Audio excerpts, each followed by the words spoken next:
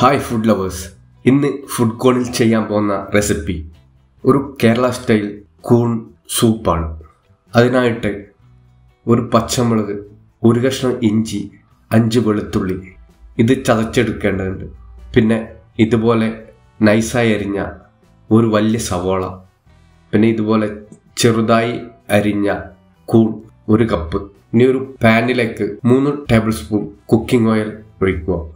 Pan ചൂടായി വരുമ്പോൾ അതിലേക്ക് നേരത്തെ കട്ട് ചെയ്ത് വെച്ച സവാള ഒരു വലിയ സവാള ചേർക്കുക. അതിന്റെ കൂടെ നേരത്തെ ക്രഷ് ചെയ്ത് വെച്ച പച്ചമുളക് ഇഞ്ചി വെളുത്തുള്ളി ചേർത്ത് നന്നായി മിക്സ് ചെയ്യുക.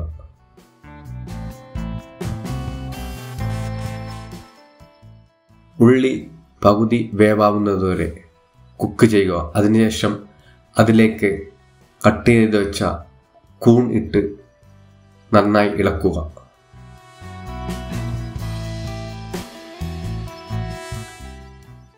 അതിലേക്ക് കാൽ ടീസ്പൂൺ മഞ്ഞൾപ്പൊടി കാൽ ടീസ്പൂൺ ഗരം മസാല കാൽ ടീസ്പൂൺ മല്ലിപ്പൊടി ഇവ ചേർത്ത് നന്നായി വഴറ്റുക.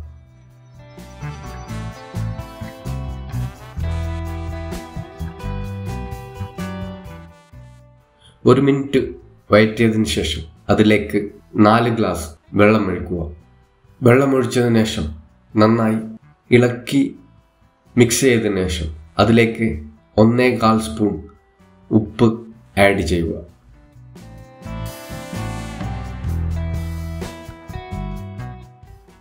അതിനുശേഷം നന്നായി ഇളക്കി അടച്ചു വെച്ച് കൂൺ വേവുന്നതുവരെ വേവിക്കുക.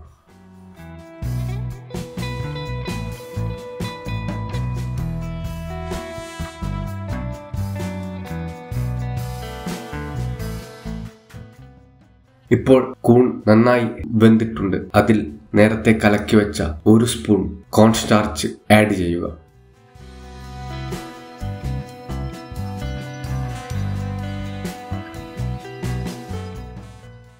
കോൺ സ്റ്റാർച്ച് ആഡ് ചെയ്ത് ഇളക്കിയതിന് ശേഷം അതിലേക്ക് കാൽ ടീസ്പൂൺ കുരുമുളക് പൊടി പിന്നെ മൂന്ന് ടേബിൾ സ്പൂൺ മല്ലിയില ചേർത്ത് നന്നായി. മുപ്പത് സെക്കൻഡ്. ഇളക്കി യോജിപ്പിക്കുക.